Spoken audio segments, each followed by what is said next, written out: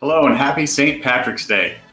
A year ago this month, President Biden signed into law the Cyber Incident Reporting for Critical Infrastructure Act of 2022. This enactment, the enactment of, of CIRCA marks an important milestone in improving America's cybersecurity by, among other things, requiring the Cybersecurity and Infrastructure Security Agency, or CISA, to develop and implement regulations requiring companies to report cyber incidents and ransomware payments. Uh, what does this mean for you and your business? And what does CIRCA cover? Stay tuned to find out.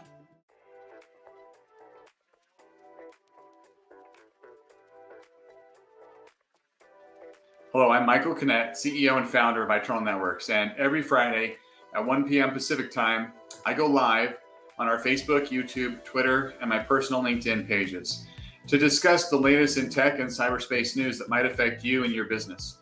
At the end of our live session, I always make sure I have time to answer questions. So if you have any tech or cybersecurity questions, get them ready. I'll uh, have some time at the end to, to answer those. First up, the news. Uh, the FBI just uh, released its 2022 Internet Crime Report and disclosed that at least 860 critical infrastructure organizations were hit with ransomware in 2022. We're going to be talking about some of the new re- reporting requirements and things for these type of organizations. Uh, critical infrastructure organizations. So 860 reported that they'd been hit with ransomware. There, there may have been others that didn't report. The majority of those that reported were in the healthcare and public health sector. Uh, as, as, part of this report, uh, CISA also announced uh, that it has been scanning critical infrastructure entities' networks for ransomware vulnerable devices since January 30th, 2023.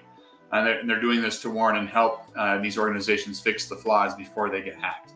So they're taking a much more aggressive approach um, on uh, helping these organizations to pr- protect themselves. Um, another another headline this week: uh, a report was recently released about uh, passwords and this study set found that 88% of hacked credentials or hacked passwords contained 12 characters or less. So if your passwords are very short and simple and under 12 characters, you may want to rethink that strategy. Uh, I've talked about pa- good password hygiene on here before. We'll probably talk about it again. Uh, just we recommend using Password Manager and having obviously more than 12 characters, uh, the, the, more characters you have, the more difficult it is to hack those credentials. So uh, this study just came out saying 88% of them were, had less than 12 characters. So uh, pretty high numbers there. Now on to our, our discussion. So we're to talk about what is CIRCA, right? Uh, and before I get into what CIRCA is, you may wonder, well, why am I talking about this if it doesn't affect uh, everybody, right? Because it's not every business that this this new act, this new law affects. And I'm just going to say that the reason that I'm talking about is that it may not affect you now, but it may affect you later. At the end of last year, similar regulations were passed in Nevada by the Nevada Gaming Control Board, and there's talk uh, of other industries soon requiring similar regulations. We're, we're going to be talking a little bit about FTC regulations. I've talked about them before that are going to be impacting CPAs, car dealerships, um, brokers, realtors uh, and, and other industries that'll have similar controls. And so uh, CIRCA may, may seem like it's a very narrow subset of, of companies and organizations within the United States. Just know that that's just the start. These regulations are going to be coming um, over the next year or two and affecting probably eventually every industry. So let's get into it. What is, what is CIRCA, right? So CIRCA, as I said in my intro, stands for the Cyber Incident Reporting or Critical Infrastructure Act. It's relatively new. It's just uh, was signed a year ago, and it requires companies to report any significant cyber incidents to the Department of Homeland Security within 24 hours of discovery. And the definition, uh, according to this act, of a significant cyber incident is pretty broad, and it includes any incident that may cause harm to the confidentiality, integrity, or availability of critical infrastructure, information systems, or networks, which is almost any cyber any cyber attack. The law requires that companies provide very specific information to, to DHS, Department of Homeland Security. Uh, this includes the type of incident, the date and time of discovery, the systems or networks affected, and the potential impact of the incident.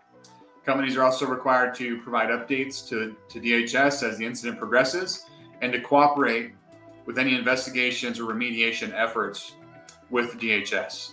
Uh, now, you think, oh, that sounds like, you know, that's critical infrastructure. That's like power companies and utilities and other things, right? Well, that, that's part of it. Uh, SMBs that provide services or products to critical infrastructure entities may also be required to comply with, with this new act. Uh, for example, an IT company such as myself, if I supported a power plant, uh, I would need to comply with the reporting requirements if it discovered a cyber incident on the power plant systems or on my systems that might have access to their systems. Uh, compliance with CIRCA may be more challenging for small businesses than for larger companies due to limited resources and expertise. However, failure to comply can result in penalties fines, and of course, reputational damage because it will become public knowledge. Uh, so there's there's no limitations, right? The, the law is regardless of your size, if you fit in that industry, you have to report it or you're going to be hit with these penalties and fines. So understanding the reporting requirements for compliance with CIRCA is critical for any organization that, that fits these need, these requirements, these new regulations. It's important to be familiar with the reporting requirements which includes um, the type of incidents that need to be reported, the information that needs to be provided, and the timeline for reporting. Um, I, will provide a link um, in the comments to a, a, white sheet provided by CISA to help understand what and how, how you should report. Uh, this would be a good file, um, a good document to keep filed away, um, along with your incident uh, incident uh, recovery plan. Uh, it's also important as part of this to assess your cybersecurity risk. SMBs should conduct a risk assessment to identify potential cybersecurity risks and vulnerabilities, and identifying those that might affect their critical infrastructure uh, entities that they work with. Um, just know, like that's that's a service that we do for businesses, right? We help businesses assess their cybersecurity risk. Uh, the Gaming Control Board, which I mentioned, one of their requirements is guess what? A, a, an, at least an annual cybersecurity risk assessment. The FTC safeguards that are going into effect for other industries require a cybersecurity risk assessment. This is everything's going this way. If you have not done cybersecurity risk assessments, it's only a matter of time before there is regulations passed by the government that are going to require you to do this and to protect your data and your clients' data. Uh, another part of this act and, and the others that I mentioned is uh, to implement cybersecurity measures. Uh, it's important that you implement appropriate measures to mitigate identified risks and vulnerabilities. Uh, some of these are firewalls, intrusion detection systems, and a big one, employee training that a lot of companies overlook. You also have to have an incident response plan uh, that includes procedures for detecting, reporting, and responding to significant cyber incidents if you don't know what's going on you're not monitoring it and you don't have a plan in place to, on how you're going to react to it, uh, time is critical, right? Uh, as I mentioned at the beginning, they have to report within 24 hours. Well, if you don't have a plan in place, you might be 48 hours in before you realize uh, that, oh, I forgot to, to notify somebody. So it's, it's important to have a plan in place ready to implement uh, in the event that something does happen. Another thing that's important is to stay informed. Uh, you should make sure that you're you're monitoring and up to up to speed about changes to this law uh, and other cybersecurity regulations and best practices to ensure ongoing compliance. Compliance with CIRCA is important for the critical infrastructure companies, but it's also important for everybody. This is just good practice in today's environment. It should not be overlooked by the SMBs uh, that provide services or products to critical infrastructure entities, especially. Uh, your IT team can help you to take steps to understand reporting requirements, uh, help assess your cybersecurity risks, and implement those appropriate measures. Uh, also, develop an incident response plan and then keep you up to speed on changes to the law and those regulation requirements. And if you don't have a trusted IT vendor or IT department that can handle all this, uh, message me. I'd love to talk with you uh, and see how we can help either supplement what you already have in place by providing the cybersecurity side of things or uh, or helping to uh, to fill in whatever gaps you have in your in your needs. We have a had a webinar yesterday um, is our free monthly educational webinar. We talked uh, about SaaS application backup. We had Jim Robison, he's a SaaS expert from Datto. And in it, we discussed uh, how cloud applications like Microsoft 365 and Google Workspace don't claim any responsibility or liability for the data that they store for your company. Uh, if you'd like to catch the replay and learn more about how you can protect your SaaS data since they don't, uh, I'll make sure I have a link in the chat on how you can go and catch the replay of that webinar.